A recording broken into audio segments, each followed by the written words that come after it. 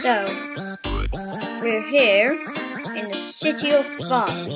Probably haven't heard of it, but it's super fun. Trust me. So first, where do we go?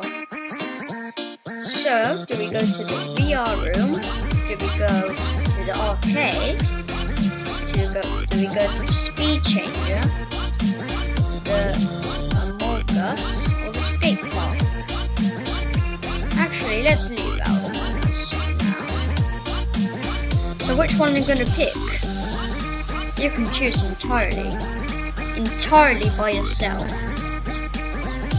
You better go before the drop goes in. Otherwise we're all gonna die. Like actually we might die. Where are you going? Why is he just stuck in there? Maybe we shouldn't go in there. Well you decide. We could, we're gonna go in there last, but should we go in there? After these four options, we'll go in there. Well you can choose. I'm not the maker. You can choose. Yeah, I've said like you can choose like 52 times. Oh, should we like it? I'm just kidding, I'm the creator of the hobby. Lol.